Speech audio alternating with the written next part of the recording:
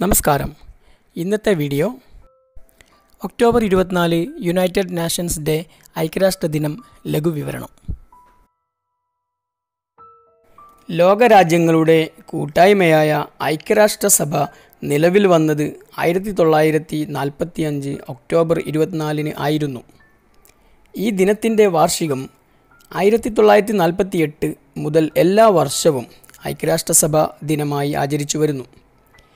ലോക സമാധാനത്തിനും രാജ്യങ്ങൾ തമ്മിലുള്ള സാമ്പത്തിക സാമൂഹിക സഹകരണത്തിനും പ്രാധാന്യം നൽകി രൂപീകരിക്കപ്പെട്ട സംഘടനയാണ് ഐക്യരാഷ്ട്രസഭ.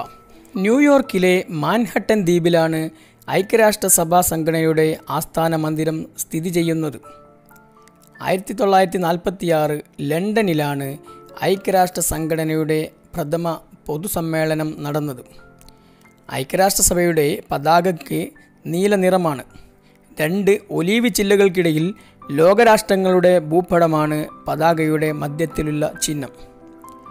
ഐക്യരാഷ്ട്രസഭയെ പൊതുസഭ സുരക്ഷാ സമിതി സാമ്പത്തിക സാമൂഹിക സമിതി ട്രസ്റ്റിഷിപ്പ് കൗൺസിൽ സെക്രട്ടേറിയറ്റ് രാജ്യാന്തര നീതിന്യായ കോടതി എന്നിങ്ങനെ ആറു ഘടകങ്ങളായി തിരിച്ചിട്ടുണ്ട്.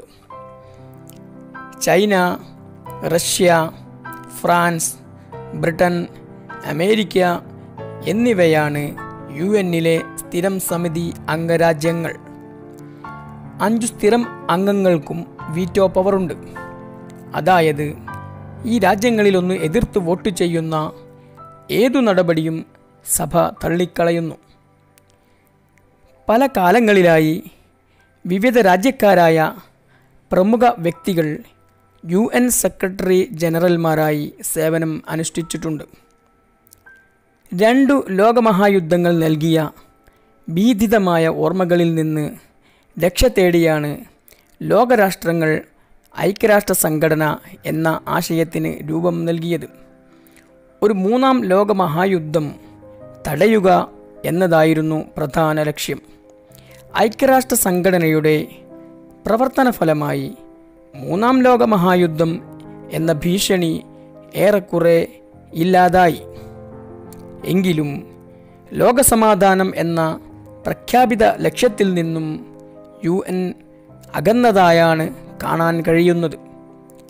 കാലത്തിനനുസരിച്ച് കർമ്മ പദ്ധതിക്ക് മാറ്റം വരുത്താൻ ഐക്യരാഷ്ട്രസഭ സംഘടനയ്ക്ക് കഴിയണം. ലോകസമാധാനത്തിനും ഐക്യത്തിനും ഉതകുന്ന പ്രവർത്തനങ്ങൾക്ക് നേതൃത്വം നൽകാൻ ഐക്യരാഷ്ട്ര സംഘടനയ്ക്ക് കഴിയട്ടെ എന്ന് ആത്മാർത്ഥമായി ആഗ്രഹിക്കുന്നു. ആശംസകൾ നേരുന്നു. ശുഭം.